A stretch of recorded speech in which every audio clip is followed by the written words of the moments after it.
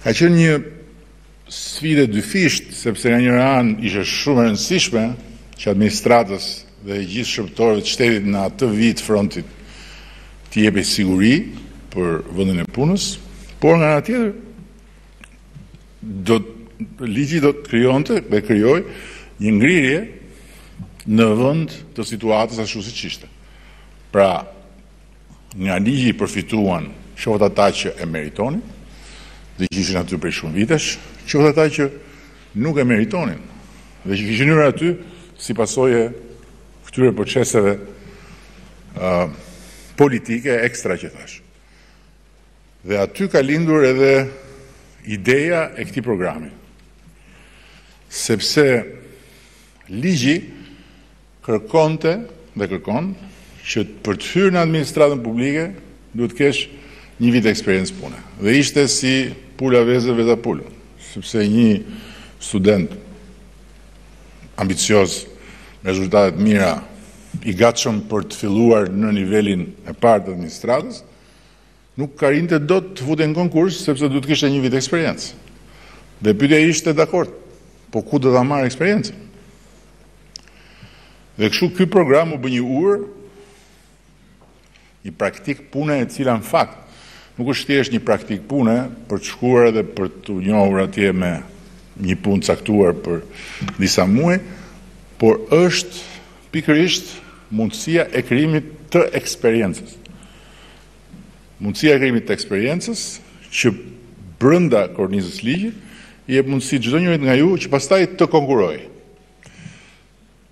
Tjetra që ka ndodhur është që në këtë program në këto vite kanë hyrë mbi 5000 si ju. Ka shumë ka shumë të pavërtetë në një në një fakt që konsiderohet i mirëqenë, që të hysh në administratë duhet të jesh patjetër nga Dibra, si Ulsiu, ose duhet të jesh patjetër me Partinë Socialiste, ose duhet të jesh patjetër kushëri i këtij ose i atij, ose duhet të jesh patjetër.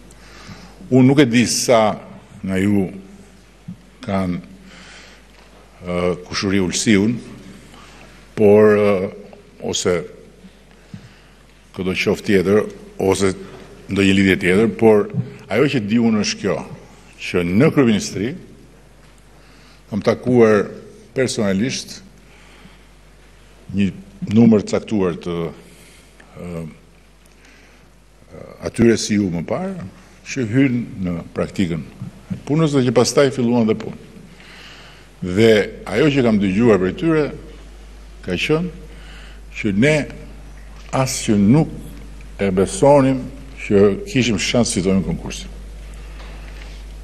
Kemi hyrë, kemi thënë ta provojmë, Kjo është kot, sepse kjo është ndeshje e shitur, është lojë e mbaruar. Dhe kemi hyrë, sepse kemi fituar konkursin. Dhe ka një fakt tjetër, nëse konkurset e administratës publike do të ishin të shitura, në kuptimin që do ishin farsa, atëherë rreth një e treta e tyre nuk do dilnin pa fitues.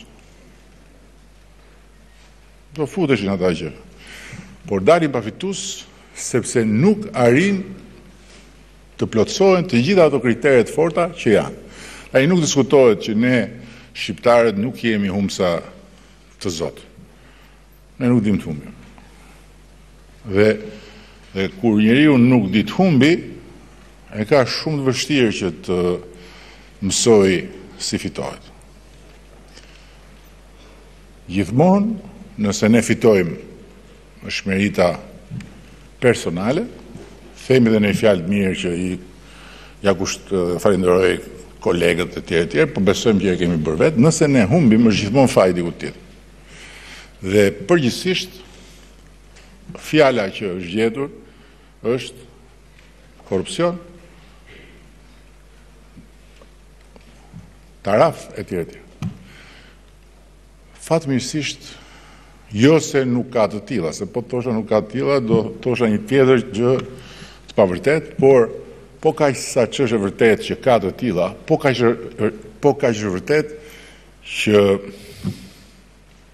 mbi 500 si ju që në 3 vitet e fundit janë punësuar, pasi kanë kryer këtë proces, pasi kanë bërë konkursin, janë në nëntëdhjetë e pesë për qind njerëz të cilët nuk kanë ardhur në praktikën e punës si të rekomanduar nga dikush, as me mbështetjen e dikujt, as se kanë pas një mbiemër të njohur dhe kanë fituar konkursin falë meritës së tyre. Ju duhet ta besoni këtë. Është shumë e rëndësishme ta besoni këtë. Dhe mbi të gjitha është edhe më e rëndësishme të besoni që cilado të jenë pengesat.